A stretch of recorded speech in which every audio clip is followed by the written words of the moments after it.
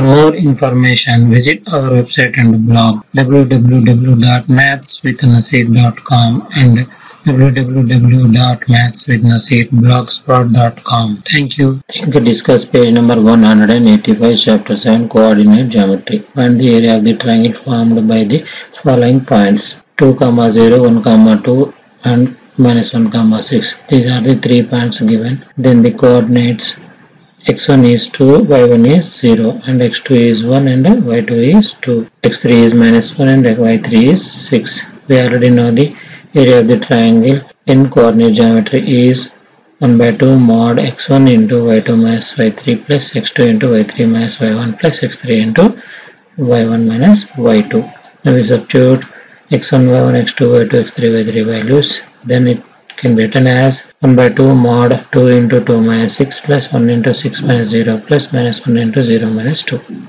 here 2 minus 4 6 is minus 4 and 6 minus 0 is 6 and 0 minus 2 is minus 2 now we multiply 2 into minus 4 we get minus 8 1 into 6 is 6 and minus into minus plus and 1 into 2 is 2 so here 6 plus 2 is 8 and minus 8 plus 8 is equal to 0. Area of triangle is equal to written as 1 by 2 mod 0. Mod 0 is 0. So 0 into 1 by 2 is 0. Therefore the area of triangle is 0 for the given points.